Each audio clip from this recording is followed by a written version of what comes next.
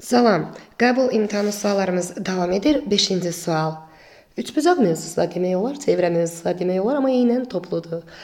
Düzbucaqlı üçbucağın katetləri 12 və 5 sm-dir. Xaricinə çəkilmiş çevrənin radiusunu tapın.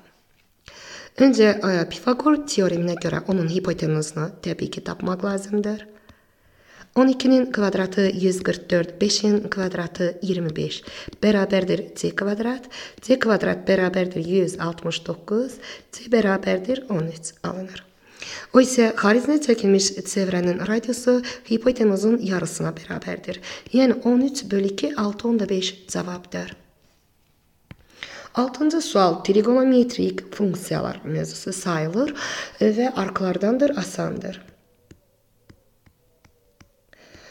Biz bilirik ki, arkosinus mənfi kökdə 3 böl 2, pi minus arkosinus kökdə 3 böl 2-dir. Düzdürmü? Yəni arkosinus mənfi alfa, pi minus arkosinus alfadır. Üstə gəl, arcsinus kökdə 3 böl 2 yazım onun dərəcəsinə 60 dərəcədir.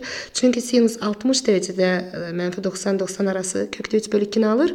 Amma arctangens 1 böl kök 3, yəni mənfi 90-90 aralığında 30 dərəcə zamanı alır. Bəli, bərabər. O isə mötərizənin daxilini hesablasaq, arkosinus kökdə 3 bölü 2 bəli 30 dərəcədir.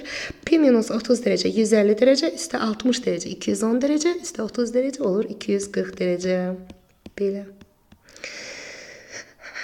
Və hesablasaq 720 dərəcə bölü 180 dərəcə 4 doğru cavabdır.